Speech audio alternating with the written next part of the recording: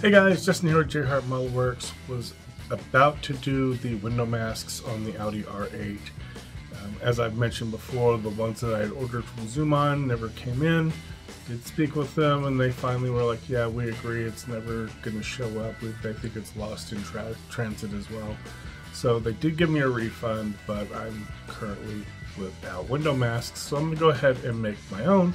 And I thought, you know, there might be somebody out there who doesn't know how to make these and maybe looking for help on them. And I know there's a bunch of tutorials out there on how to do this from other guys, but I haven't seen anything recent, so they're probably like buried into the YouTube archives of history. So I thought maybe we'll just go ahead and do another quick tutorial on doing your own window masks. So let's go ahead and get this turned around and we'll get started. We're going to be working with our clear parts here. There's going to be a lot of sliding things around and moving things and pressing things.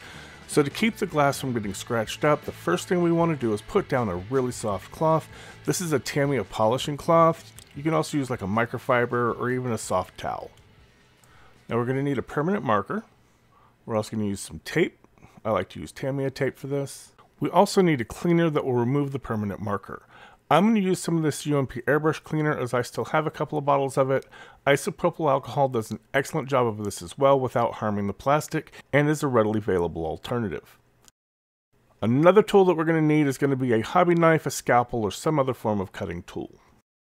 We're also going to use some cotton buds, and I like these cosmetic cotton buds. I get like 800 of them off Amazon for 10 bucks.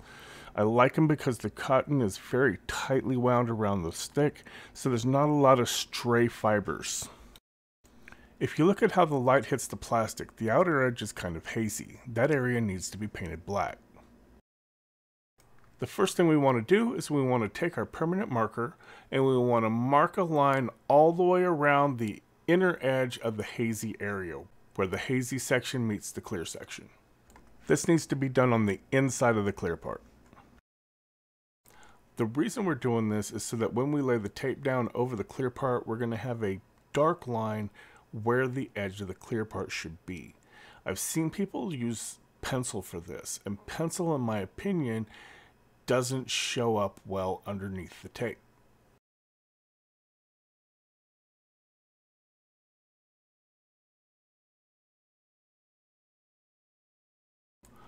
Once we have our outline marked, we're going to go ahead and lay down some Tamiya tape to cover the inside of the clear part.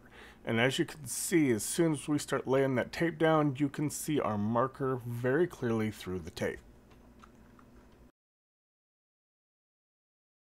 From here, we're going to go back with our permanent marker and we're going to copy the line on top of the Tamiya tape.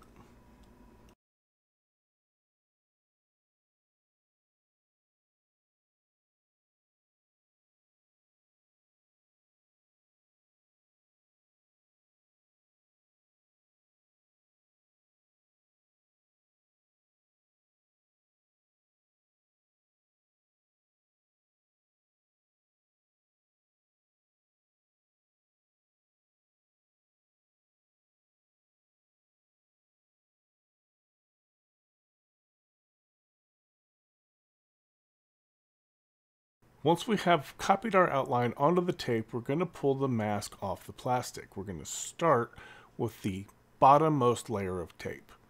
While peeling the mask off, we need to be very careful and take our time. Do not pry hard against the plastic or you can snap your parts in half very easily. We want to lift the mask up a little bit at a time. Make sure you're holding the part firmly and move your fingers up closer to the edge of the tape as you remove it to help brace the part. We have transferred our tape to the cutting mat and now we want to cut away the outside parts of the mask. I know I didn't mention it as part of the materials, but if you have sections that are straight lines like we have on the sides, using something like a ruler as a cutting guide is a great help in getting nice clean cuts. I don't like cutting the mask while it's in place on the plastic.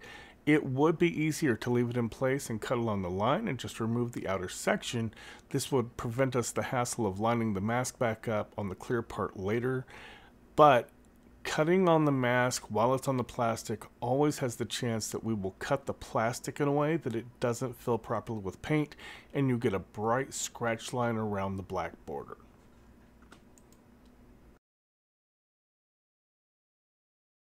Before we put the mask back in place, we want to clean off the marker from the plastic. For this, we're going to use some UMP airbrush cleaner and cotton buds. Again, if you don't have UMP airbrush cleaner, it is kind of a specialty item. You can use isopropyl alcohol for this just as well. I like to get my cotton bud wet and then wipe most of it off on like my hands and my jeans so that it doesn't just ooze and run everywhere when I start to clean up. And then just gently rub the part with the cotton bud until all the marker's gone.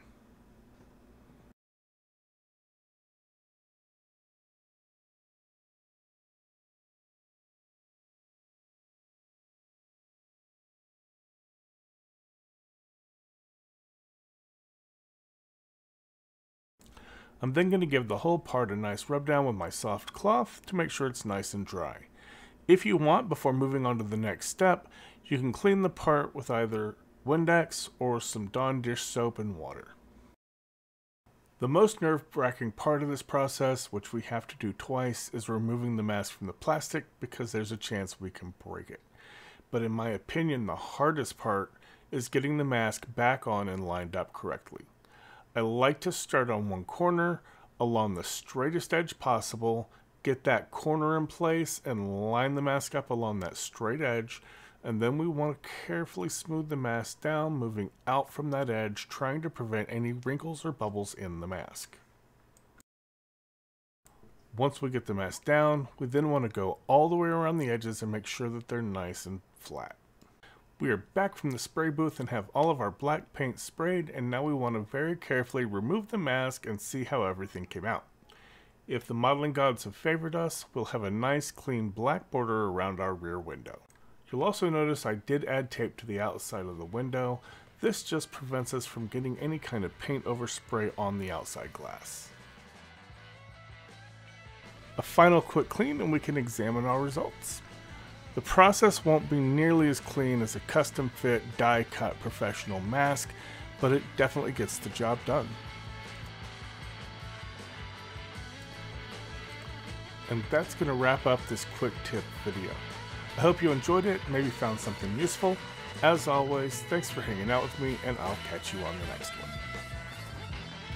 If you enjoyed the video, please hit the like button. Also, feel free to leave comments, feedback, critique, or anything else in the comment section below. I enjoy interacting with all my viewers in the comment section and try to reply to all the comments I receive. If you want to catch future videos, please consider subscribing to my channel and make sure you click the bell notification icon so you can be notified when I upload new videos. As always, thank you for watching, keep modeling, and have a great day.